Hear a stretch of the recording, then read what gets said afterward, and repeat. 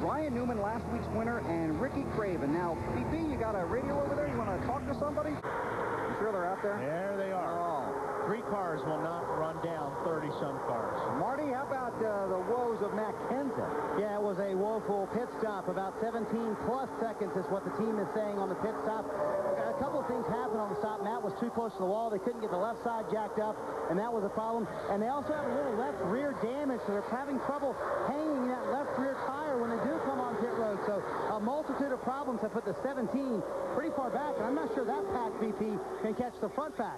It doesn't look like it because they aren't showing enough speed now. They're about sometimes three, four tenths of a second slower than the leader.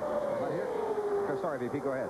I just, as Wally said, it's difficult for these three cars running nose to tail to run down six or seven cars running nose to tail. Oh. Terry came home 21st. Elliott Sadler, upside down, still comes home 22nd. That's spectacular.